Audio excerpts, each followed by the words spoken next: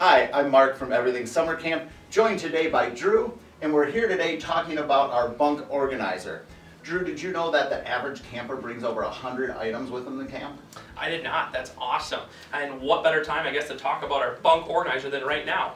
The bunk organizer is super durable. It's made from 600D polyester. It comes in various different colors. It is 18 inches wide, 34 inches tall, and we have a super strong hook and loop system here so it can attach to pretty much whatever item you want there, right? The side of your bed, the end of your bed, super strong Velcro, hook it around and loop it.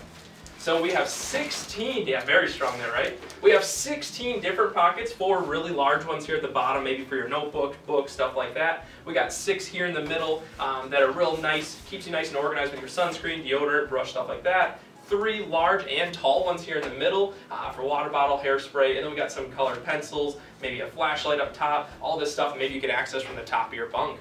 Right, absolutely. And uh, you know, the nice thing is, you know, we have this shown on the front of a bed, but it can also be on the end. It can attach to a lot of different things mm -hmm. in your cabin at camp. Um, you know, I think camp is such a big investment. Um, you want your child at camp having fun, learning, growing as a person, not wasting time looking for a flashlight. So this is an item that you're not going to see on a lot of camp packing lists, but do yourself a favor and pick one up today.